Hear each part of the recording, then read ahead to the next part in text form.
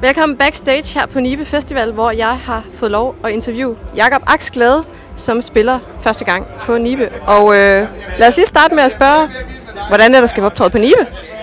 Det er skønt at være her. Jeg er kommet for et kvarter siden, og er allerede blevet glad for at være inde blandt træerne, inde under træerne. Ja.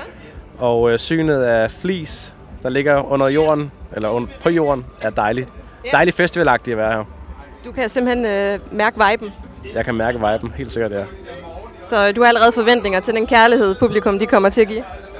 Ja, uh, jo, det har jeg. Altså forventninger. Jeg, jeg glæder mig til at spille. Jeg har faktisk ikke nogen forventninger til, hvad der skal ske. Jeg tager imod alt, hvad der kommer med åbne arme. Ja. Okay. Jamen, øh, hvis vi sådan skal snakke åbne arme, så, så starter jeg faktisk lige ud med, at jeg har hørt noget om, at øh, du er lidt populær ude i Østen, faktisk. Lidt i noget radio derude. Og så tænker jeg lige, hvordan er det sådan at vide, at øh, der faktisk er nogen, der lytter til en så langt væk? Hvis du taler Østen, og det er måske i Sverige, så er måske rigtigt nok. Men længere østpå tror jeg ikke, vi kommer. Det har jeg hørt en fuld ting om. Der faktisk har hørt dig i noget radio derude. Så skal det måske være nogen, der har taget en radio med fra Danmark. Det ved jeg ikke. det er ikke til at vide. Det, øh, man kan sige, du, du kom frem sådan en okay tid, inden at coronapandemien ramte. Men alligevel, så kan man også sige, at du har fået rigtig sejle vind, vindene og øh, vinger, vind under vingerne. Det er ja, det, jeg ja, mener. Ja. Og så rammer det så alligevel i 2020. Hvad har du fået tiden til at gå med, og har du ikke også sådan tænkt, hvordan holder jeg lige øh, mig flyvende igennem det her?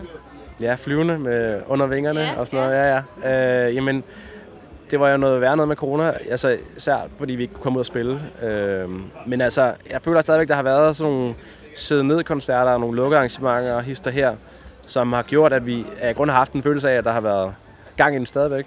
Og at der har været mange, der lyttede til min musik under corona også.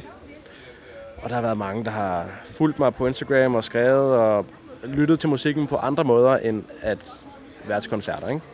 Ja. Øh, så jeg har egentlig fø- følt, at der har været godt gang i det alligevel. Øh, men nu, hvor man kommer ud og spiller rigtig, rigtig. Så er det jo bare endnu federe. Ja. Så man får et endnu større boost af det. Så det er fedt. Ja. Så du føler, at du egentlig er blevet taget stadigvæk godt imod her efter på post-corona? Jeg er blevet totalt, totalt godt imod her på øh, efter corona. Ja. Øhm, det er jo bare dejligt, at folk kommer til koncerterne, og der er mange, der synger med og øh, kan teksterne. Ja. Og øh, selv, på, selv på de store og de mindre kendte sange, jeg har lavet, så kan folk teksterne og synger med. Så det er, altså, det er jo et kæmpe stort kick, at man har skrevet noget derhjemme på soveværelset, og der er fremmede mennesker, der kan teksterne, som handler om mit liv, og, øh, og de føler, at det handler om deres liv. Ja. Så det er jo øh, en stor oplevelse for mig. Ja.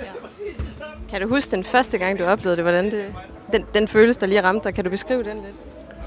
Det var en slags følelse af, jeg vil nok sige, det er en anerkendelse af, at det arbejde, jeg har lavet, er øh, godt. Øh, at det en anerkendelse af, at det arbejde, jeg har lavet, har, er der nogen, der kan bruge til noget. At de kan bruge det i deres liv. Øh, så, øh, og så var det en følelse af glæde. En glæde og øh, lettelse. Ja. Det er jo et, et kæmpe nervøsitet eller pres eller man sige, usikkerhed, når man går ind til en koncert. Ja. Og man ikke ved, hvor mange der er, og hvordan tager de imod, hvad, hvad er det for et væsen publikum er. Og så når de begynder at synge med, så ved man, at de er på helt, helt på din side. Ja. Og så bliver det en god dag, en god koncert. Det kan jeg godt sætte mig ind i. Hvis vi sådan skal snakke fremtiden, hvad er så lige øh, ambitionerne nu, og har de ændret sig øh, i løbet af de her år? Øh, ambitionerne øh, er bare at øh, vokse øh, publikummæssigt og lyttermæssigt. Altså, jeg vil gerne have, at min musik øh, kommer ud til så mange mennesker som muligt, og gør så mange mennesker som muligt glade. Ja. Øh, min personlige kunstneriske ambitioner er også, at jeg, jeg synes personligt, at, min, at, at, at, det er, at det bliver ved med at være sjovt at skrive musik, og øh, jeg bliver ved med at have optur over det musik, jeg skriver. Ja. Øh, så hvis man skal sige det kort, så handler det jo bare om, at et, at jeg kan blive ved med at leve af det, og to, synes, at det er grinerne at spille musik. Ja. Det giver god mening. Hvor finder du egentlig sådan din uh, inspiration til at skrive tekster hen? Fordi jeg læste, du egentlig startede ret tidligt med at, at skrive dine egne tekster. Hvad, kan alt inspirere dig, eller har du sådan to go to, når du tænker, nu, nu skal jeg til at, at lave noget nyt? Ja. Øh, meget andet musik inspirerer mig, når jeg lytter til diverse andre kunstnere. Hvad kunne det for eksempel? Har du nogle favorites? Favorite, der, der, der, der er sgu mange. Øh, øh, Michael Jackson. Thomas Helmi, øh, The Smiths, øh, diverse øh, nutidige danske kunstnere kan jeg godt lide. Ja. Stærk scene, vi har nu. Ja. Øh, så dem lytter jeg også til. Øh, hip-hop, klassisk musik. Men altså, det handler mere om, at jeg sådan lytter til, okay, det, det er en fed sang, den kunne jeg godt tænke mig at lave noget, der ligner. Og så hvis man begynder at, at, at skrive en sang, som, hvor jeg prøver at efterligne en sang, så ender det altid ud med, at det ikke ligner den sang. Det kommer altid til at have lyder noget helt andet. Hvis du gerne vil skrive en sang, der lyder som Barbie Girl med Aqua, det er ikke sket nu, men hvis man nu gerne vil gøre det, så kommer det til at lyde noget helt andet, så man kan ikke høre som lytter, at, øh, at det er noget andet. Nej, så du, du på, det du mener er, at du tager lidt et outset, og så får du simpelthen tunet det så meget op på din egen bane, at det bliver øh, meget dit, og ikke en eller anden øh, copy thing. Lige præcis, ja. ja. Jeg så på Instagram, at du havde mødt øh, kronprinsen tilbage i 18, tror jeg det var. Ja. Og øh, du, du skrev lidt om, at du fik en lille snak med ham. Kunne du afsløre lidt om, hvad I snakkede om? Det er jo fortroligt med mig og Frederik. Vi, øh, vores, vores venskabelige snakke afslører vi aldrig for noget. Ligesom jeg heller ikke, han, heller ikke regner med, at han afslører, hvad jeg siger til ham, så øh, skal jeg, jeg siger jo heller ikke, hvad han siger til mig. Så, øh, men jeg kan sige, at det var utroligt interessant, og at øh, det ville chokere mange mennesker. Okay, ja. Jamen, øh, i skal have lov at have jeres hemmeligheder. Men er du egentlig sådan en royalist, eller var det bare tilfældigt, at øh, nu støtter du ind i Frederik? Altså, jeg er stor fan af Kongehuset. Jeg synes, det er en øh, vigtig institution i øh, Danmark, og øh, jeg synes, øh, det er alle pengene værd, at vi har en så stærk tradition, som meget få andre lande har.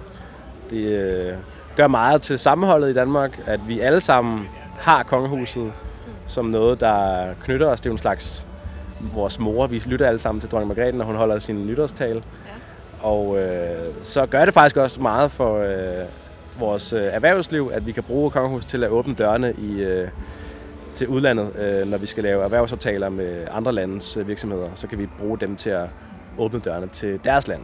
Ja. Virksomheder. Ja. Så jeg er stor fan af Kongehuset, både på et emotionelt plan, men også på et øh, kroner- og øreplan. Ja. Jamen det, øh, det skal også...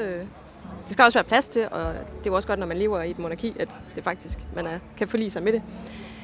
Øh, har du en... altså, er det i, i Nordjylland, hvordan har I det med kongehus herovre?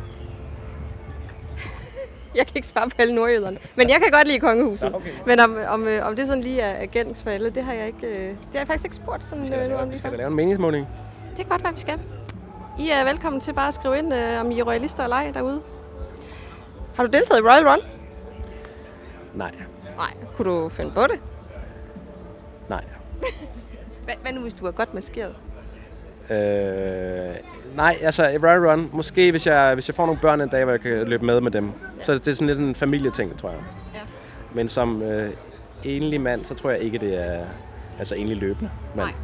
Jeg, jeg, skal, jeg gerne have en barnvogn. Så hvis vi, min kæreste og jeg får nogle børn, så tror jeg, det bliver det.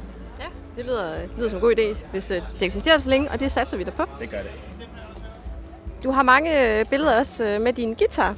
Eller forskellige guitar, jeg går ud fra det flere, vi snakker om.